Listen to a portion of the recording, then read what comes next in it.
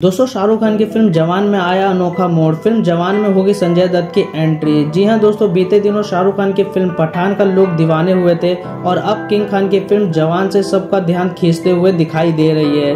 दोस्तों, जवान के सेट से हर रोज कोई ना कोई अपडेट आपको देखने को ज़रूर मिलता है। अभी भी कुछ दिन पहले खबर आई थी कि फ़िल्म जवान में अल्लू अर्जुन का कैमियो आपको देखने को मिलने वाला है। बताया ये जा रहा है कि बिज़ी शेड्यूल के चक्कर में अल्लू अर्जुन ने इस फ़िल्म में काम करने से साफ़ साफ़ मना कर दिया है। लेकिन दोस्तों, वो कहते हैं ना कि अंत भला तो सब भला। वहीं एक मीडिया रिपोर्ट की बात करें तो जवान से दिल को छू देने वाला अपडेट सामने आया है। बॉलीवुड के सुपरस्टार संजय दत्त इस फ़िल्म के अंदर एंट्री होने वाली है। खबर ये है की फ़िल्म जवान में आपको संजू बाबा का कैमियो भी देखने को मिलने वाला है, जहाँ पे लोग काफ़ी ज़्यादा पसंद कर रहे हैं इस चीज़ को सुनने के बाद। तो दोस्तों, इस बात पे काफ़ी दिनों से चर्चा चल रही थी कि संजय दत्त की एंट्री होगी या नहीं होगी, पर अब ये साफ़ हो गया कि संजय दत्त को आपका इसके अंदर स्पेशल कैरेक्टर आपको दिखाई देने वाला है।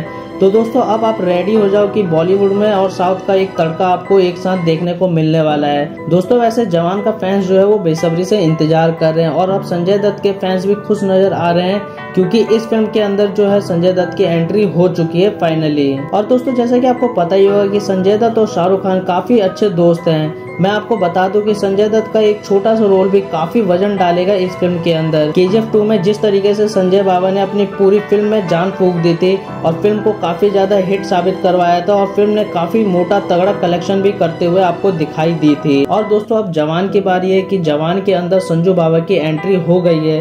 फाइनली अब आप कमेंट करके हमको ज़रूर बताएँ कि आपको ये वीडियो कैसी लगी और आपकी क्या राय है। मिलते हैं अगली वीडियो में, जब तक टेक केयर गुड बाय